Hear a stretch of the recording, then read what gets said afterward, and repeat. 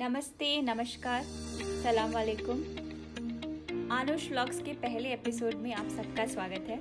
आज हम मस्किट के बहुत ही खूबसूरत बीच पर जाने वाले हैं। बीच का नाम यति है और ये मस्किट से एक घंटे की दूरी पे है।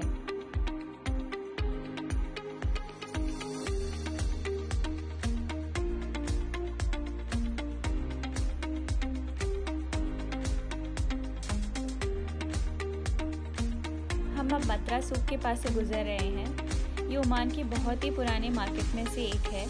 यहाँ परफ्यूम्स हैंडीक्राफ्ट्स चांदी वगैरह बेचने वाली छोटी छोटी दुकानें हैं।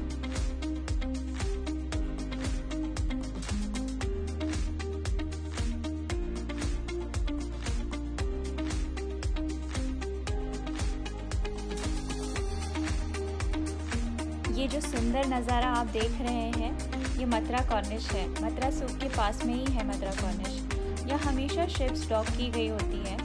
शाम के वक्त तो यहाँ टहलने का मज़ा ही कुछ और है। और आप यहाँ पे साइकिल रेंट पर लेकर भी चला सकते हैं।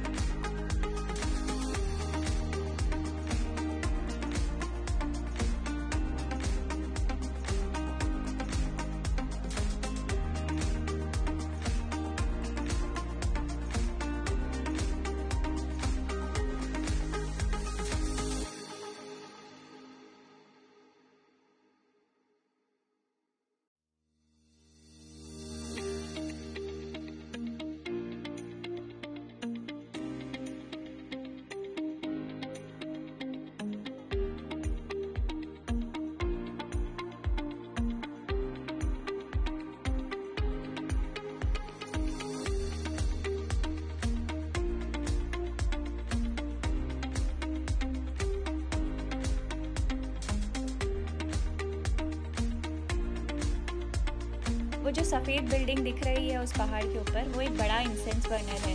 इंसेंस बर्नर का हिंदी ट्रांसलेशन अगर आपको पता हो तो प्लीज़ आप कमेंट्स में लिखकर मुझे बताइए। ये इंसेंस बर्नर ओमान के बीसवें नेशनल लीग के जश्न में बनवाया गया था।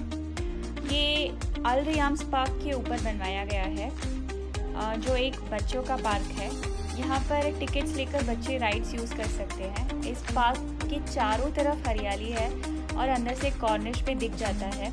फैमिली के साथ वीकेंड एंजॉय करने के लिए ये परफेक्ट स्पॉट है।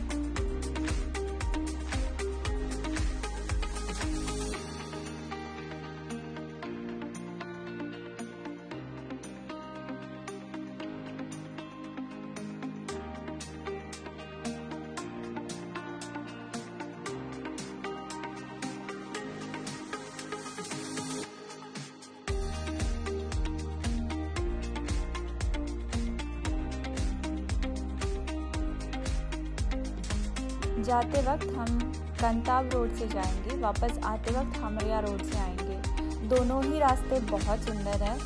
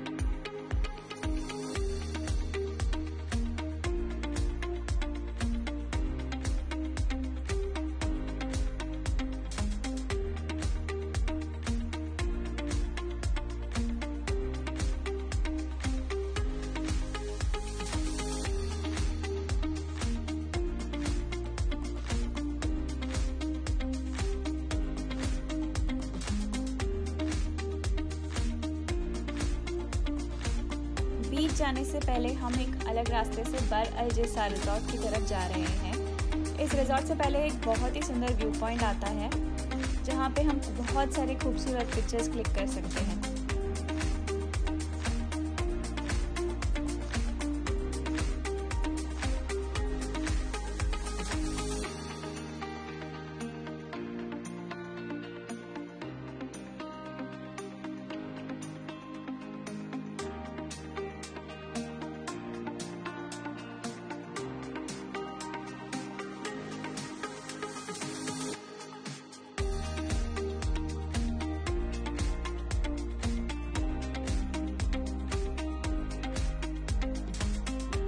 उम्मीद करते हैं आपको भी वो व्यू पॉइंट उतना ही अच्छा लगा जितना हमें लगा।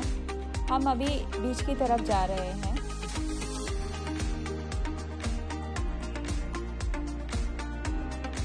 बीच की तरफ़ पहुँचते वक्त हमें रास्ते में बहुत सारे जानवर दिखे।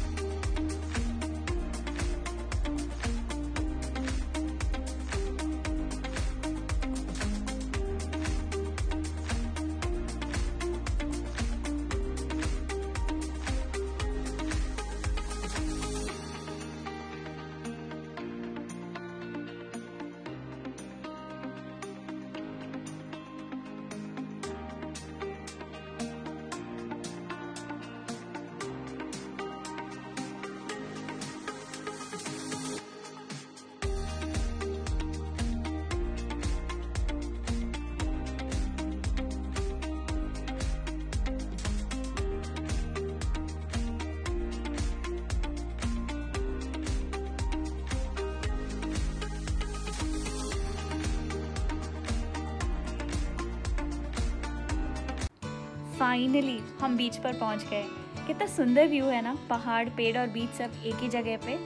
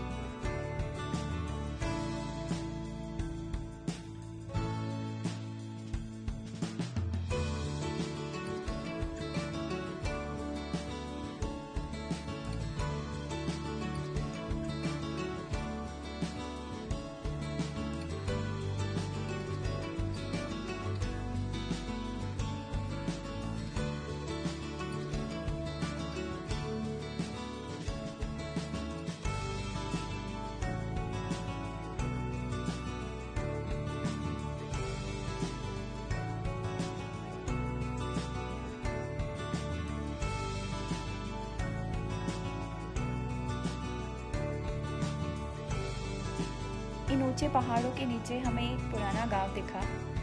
यहाँ हमें फिशिंग बोट्स पुराने घर, खजूर और छोटी मोटी खेती बाड़ी दिखी। पुराना गाँव था पर बहुत प्यारा था।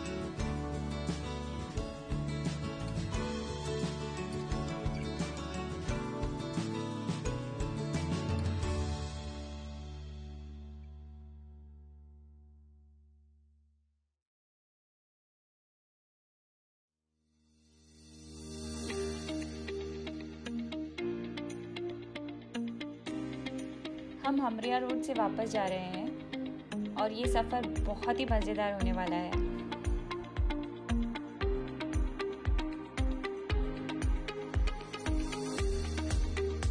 ये रोड एकदम रोलर कोस्टर की तरह है। इसलिए आपको बीच में वीडियो हिलती डुलती हुई दिखी या फिर मेरी उंगलियाँ बीच में दिखी तो समझ लेना कि मैं फ़ोन ठीक से पकड़ नहीं पा रही हूँ।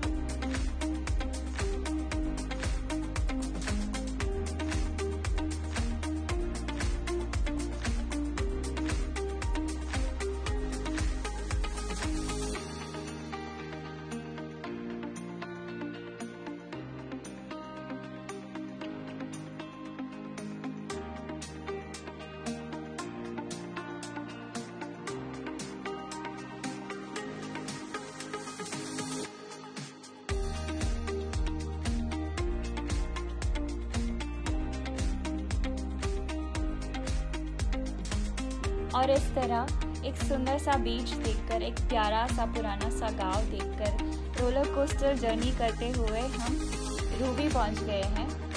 उम्मीद करती हूँ कि आपको भी ये सफ़र उतना ही मज़ेदार लगा जितना कि हमें लगा। अगर आपको ये वीडियो पसंद आता है तो प्लीज़ लाइक शेयर और सब्सक्राइब कीजिए। ये वीडियो के एंड तक देखने के लिए बहुत बहुत बहुत थैंक